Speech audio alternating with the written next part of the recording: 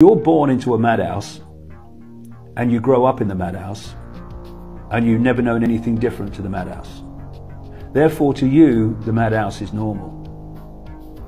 So when any, anyone comes along and says, This is a madhouse, look at it, they go, He's mad, because to you, normal is insanity.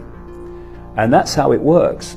And so, what is happening when we talk about people waking up. They're waking up from the spell, they're waking up from the program.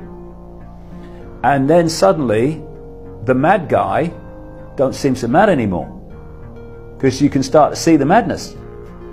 Um, and that's what, that's what it is. You know, people say, I'm seeking enlightenment. We don't have to seek enlightenment. We are enlightened. That's our, that's our natural state of, of being. What's happened is this distortion has distorted our sense of perception